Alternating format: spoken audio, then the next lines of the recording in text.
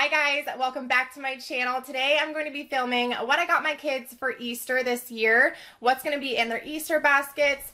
So this is what they look like. They're super cute. I ordered these liners off of Pottery Barn and it has their name engraved right here on the ears. So this is Baylee's basket and this is Shay's. And funny thing, I ordered these liners, these little bunny liners with their names engraved on the ears off of Pottery Barn. And when I went to go check out, I was like, these are super cheap. Like there's no way that I think there was like $38 total or something. And I was like, why have I never done this before? Because I wanted an Easter basket that's going to last them through the years instead of having to buy a new one each year and just waste money that way. So I wanted to get like a really good high quality basket that's going to last them through the years. So that's what I decided to do this year. And then when they came in the mail, it was only the liners and not the basket. So I'm so stupid and forgot to get the basket but um, I actually walked into Home Goods the other day and I found these two on display, like right when you walk in for their little Easter display and they had like a bunch of candy and just like decorative stuff in the baskets and I was like I need those. Those are gonna be perfect. They look like the perfect size. So I took everything out of the baskets that were on display at Home Goods and like I destroyed that entire scene. It was so cute and put together but they were for sale. They had a price tag on them and everything. It was just funny that I had to like totally ruin that entire display so that I could purchase these. But I'm so happy because I brought them home and I put the liners on and they fit perfectly. So I'm so happy with them. And I probably saved a lot of money too buying them from Home Goods. Um, that's just a little backstory for you. And another thing is I purchased some things on Amazon like two weeks ago for the girls' baskets. I got um, a coloring book and it comes with like stickers and stuff for Baylee. It's from Paw Patrol. And then I got Shay's sippy cup and I'll insert pictures right here for you guys because I don't have them yet. I'll tell you why in a second. Um, and then I also have two books. So there's a book about Jesus and then there's another little bunny book. And they were supposed to be here like two weeks ago. And I actually got fraud on one of my um, debit cards. So I had to cancel that card. And so the order never shipped because um, my Amazon card wasn't working obviously because I put a stop on that card so I had to update my information on Amazon and everything and then have them reship it out to me and repurchase it. And then I was waiting to film this video for you guys last night because the Amazon order said it was supposed to ship by 8 p.m. last night. And so I was like, okay, that's fine. I'll film it last, I'll film it tomorrow night and then I'll get it up either late or early Saturday morning, which is when you guys are seeing this, probably afternoon now. Um, and they they never came. And then I looked this morning, they still weren't there. The order still wasn't there. So I went on my Amazon account and it said that the Amazon truck driver, I guess, couldn't get through our gate to deliver our package. So I encountered a lot of bumps in the road in order to film this video for you guys, and I still don't have everything I'm putting in their basket, but that's okay.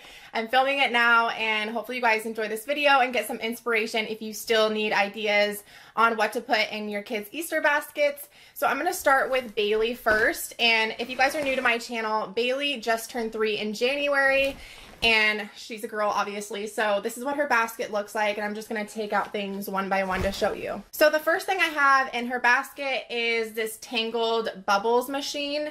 It's like a little tangled one and it comes with bubbles and I think it sings too. So I know she's gonna love that. And then I also have a puzzle. Baylee's really into puzzles right now and all the puzzles that we have currently are just too easy for her. So, oops, sorry. It's a Peppa Pig puzzle and it comes with 24 pieces and it looks like it's going to be not super easy for her, but it'll definitely keep her interested and it'll take her a while to finish. And she loves Peppa Pig too, so I know she's really going to like that. And most of this stuff, you guys, I got from Target, if not everything. So um, I will leave links for everything below in the description box if you guys um, are interested in anything. And then I also got both of the girls these. I got them from the dollar section at Target. It's just a glitter pink spoon and fork. They're really cute. And then these I actually got from Home Goods. When I found the baskets, I saw these too, and they're super cute. They're little pink slides, and I got the same ones for Shay, but they're in white. So really cute. She could probably wear these like to the pool or just during the summer, just easy slip-on slides. Really cute. And then I got her a new sippy cup. I got this one from Target. It's the Contigo line. I don't know if I'm saying that right, but it has um, a straw right here. And it has a little snap container too at the top. I don't know how much we're going to use that, but that's really cool too. Um, and I've never tried these before, so if you guys have tried these sippy cups before, let me know if you like them.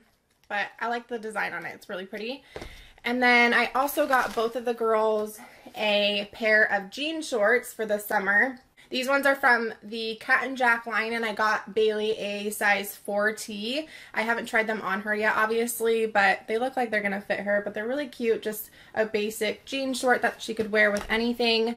And then you can't have Easter without treats, and this was so cute. I found this at Target.